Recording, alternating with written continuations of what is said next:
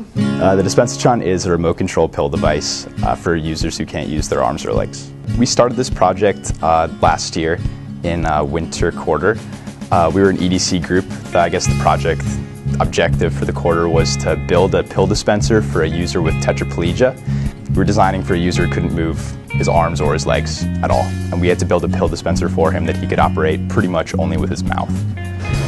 I um, wanted to figure out a way to be more independent. I did have our system pretty crude set up on my desk, but that was very crude and I wanted to find something that would be more reliable and, and more long lasting. We were kind of designing it for our specific user in mind. Um, around week three of EDC, we went to our user's house and uh, we actually got to talk to him, bounce ideas off of him, what exactly he wanted from us, um, which really helped a lot. Uh, we also got to work with the RIC directly, the Rehabilitation Institute of Chicago, downtown, which is an amazing opportunity for freshmen. And so we had a lot of good ideas to, as our starting point. We started out with mechanical devices, thinking, oh, we can put something near his face where he can use his tongue or mouth to operate. But then we shied away from that because we thought it'd be hard to position it correctly, or just the logistics didn't seem like it was going to work out. So then we moved to more of an electrical solution.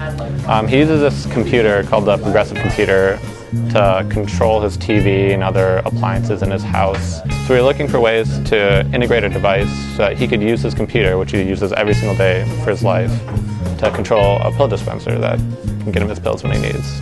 Here's our um, beautiful Arduino mi microprocessor. This will be attached to a board that um, would then take remote signals from our user and send out um, power to to um, the wheels and, and signals to have the wheels turn.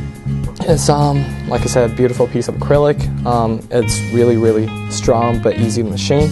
So this motor will sit inside of this piece of acrylic, and then we would have this um, attached to the bottom of the box and have the wheels turning um, at the top. We went through many iterations and this was the most um, elegant, delicate design that we came up with.